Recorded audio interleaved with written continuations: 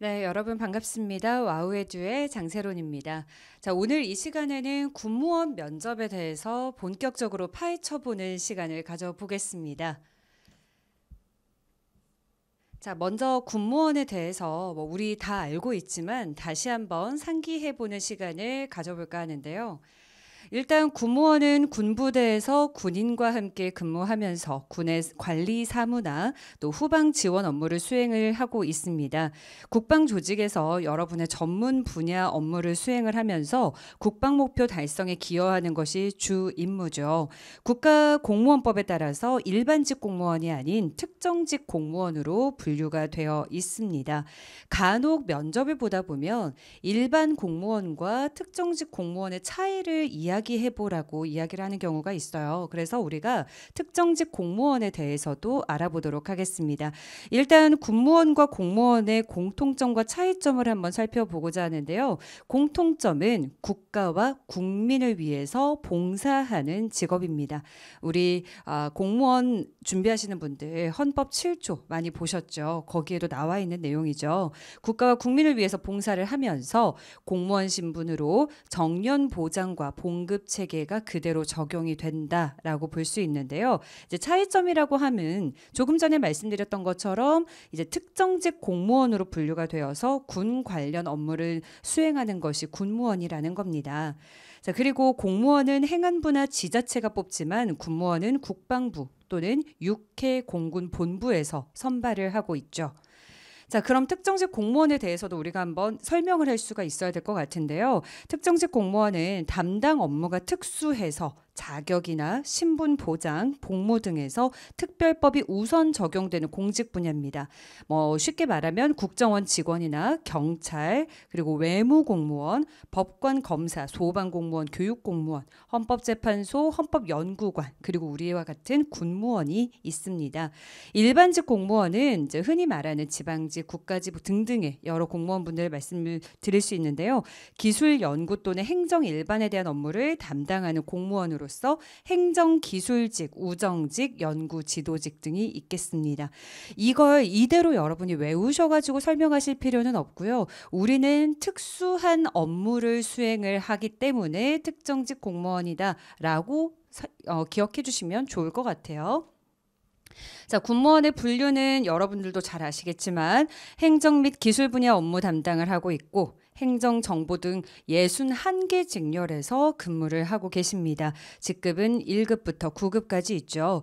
자, 이게 최근에 나온 기사에서 보면 2025년 1월부터는 군무원의 근무 성적 평정 반영 기간이 현재 10년에서 2년에서 3년으로 줄어든다고 합니다. 일반 공무원과의 약간 차별이 있어서 승진을 한 번 놓치면 너무나도 오랜 시간 다시 준비해야 된다라는 게 군무원의 단점으로 꼽혔었는데요. 이거를 동등하게 만들어 준다라고 또 이야기가 나왔습니다. 조금은 우리에게 희망이 들리는 소리가 아닐까 싶습니다. 자, 군무원과 군인의 차이에 대해서도 우리가 면접 질문으로 주로 많이 받으시게 되는데요. 어, 한번 가볍게 알아보고 갈게요. 군무원은 군인 신분이 아니기 때문에 부대 근무여도 훈련을 받지 않습니다. 그리고 병사나 뭐 장교, 부사관과 같은 직업 군인들과 같은 군 생활을 하지 않고 있죠. 자, 그리고 군무원과 군인의 상하 관계가 조금 애매할 때가 있어요. 사실은 동등한 관계라고 이야기를 하거든요. 그런데 가끔씩 질문, 상황형 질문을 받다 보면 군인에게 복종을 해야 할 의무에 대해서 물어보는 질문들이 나와요.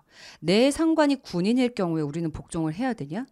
말아야 되냐? 헷갈리거든요. 왜냐하면 분명히 동등한 관계라고 법령에서는 나와 있는데, 어, 이걸 어떻게 대답해야 되지? 궁금해 하실 수 있어서 준비를 해봤습니다.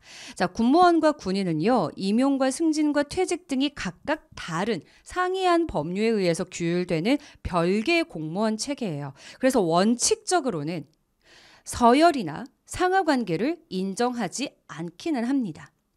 어, 내가 9급이든 7급이든 5급이든 내 앞에 어떤 장교분, 뭐 대위분이 계신다거나 아니면 뭐 더 높은 분이 계신다거나 했을 때 이분이 나보다 더 높다, 낮다 를 원칙적으로는 정하지는 않지만 아까 뭐라 그랬죠? 이 국가 안보와 국방력 강화를 위해서 우리는 하나의 공동체, 유기체가 되어서 움직인다고 했죠. 그래서 업무에 따라서 조직 내 보직에 따라서 명령권을 가진 자가 예를 들어 뭐 대위, 대령 이렇게 어떤 아, 명령권을 가진 자가 군인이라면 동등한 계급인 군무원과 군인 사이에서 상하 관계를 인정할 수 있다라는 예외 조항도 있습니다. 그래서 그냥 업무를 할 때 이 업무에 이 내가 지금 맡은 보직에서 주 명령권자가 군무원이면 군무원 선임님, 상관님이 될 거고요.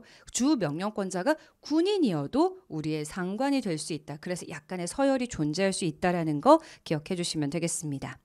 자, 정말 많이 물어보는 것 중에 하나가 군무원의 장점과 군무원의 단점을 각각 말해보라고 해요. 이 직업이 가진 장점과 단점을 말하라고 하면 우리가 이제 흔히 말하는 내용들이 있죠. 바로 이렇습니다. 국가를 위해 일한다는 사명감과 보람, 자긍심, 전문성 확보를 통해서 일을 할 수 있다라는 거. 또는 안보 환경 변화에 따라서 필요해진 우리와 같은 비전투적인 요소를 담당하는 사람들이 전문가로서 위상이 높아질 수 있다라는 가능성. 자, 그리고 제가 적지 않은 게 하나 있어요. 뭐죠? 정년 보장, 안정적인 처우. 이 단어 왜 적지 않았을까요? 사실 공무원의 특징이긴 합니다. 군무원뿐만 아니죠. 공무원의 특징이긴 한데 어, 이 부분에 대해서 너무 그냥 솔직하게 드러내기보다는 한번 그 좀 참으시라고 말씀을 드려요. 군무원의 장점 얘기하거나 공무원의 장점 얘기하라고 하면 무조건 정말 열에 한 일곱 분 이상은 안정적이고 내가 그래서 전 직장을 퇴사하고 이쪽으로 왔고 이렇게 얘기를 하신단 말이에요. 그런데 사실 안정적이고 또 뭔가 그 보장이 되어 있고 이 부분에 대해서 집중하시다 보면 이상한 압박 질문들, 꼬리 질문들이 들어옵니다. 어, 그런데 군무원이 호봉이 조금 낮은 편인데 괜찮으시겠어요? 성과급 같은 게 많이 없는데 괜찮겠어요?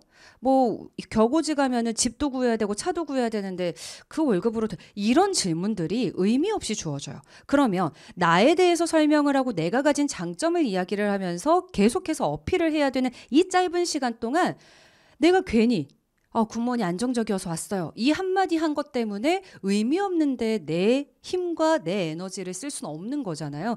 그래서 가급적이면 이렇게 적혀 있는 내용 위주로 좀 이야기를 해달라라고 말씀을 드리고요. 이제 단점에 대해서 이야기를 한다면 단점은 이런 부분이 있습니다. 품위 유지에 따른 행동의 제약.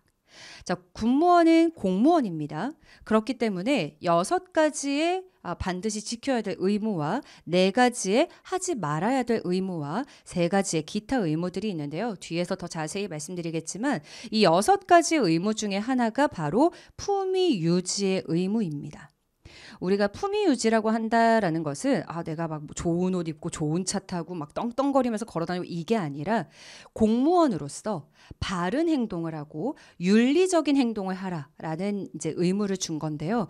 그렇다 보니까 일반인 홍길동으로서 살아가던 나와 달리 이제는 공무원으로서 군무원으로서 살아가다 보면 하지 말아야 되는 행동의 제약들이 훨씬 더 넓어집니다. 그 부분이 어떻게 보면 단점일 수 있겠고요. 그리고 그러다 보니 까 국민들이 공무원에 대한 군무원에 대한 도덕성 요구 수준이 높아요.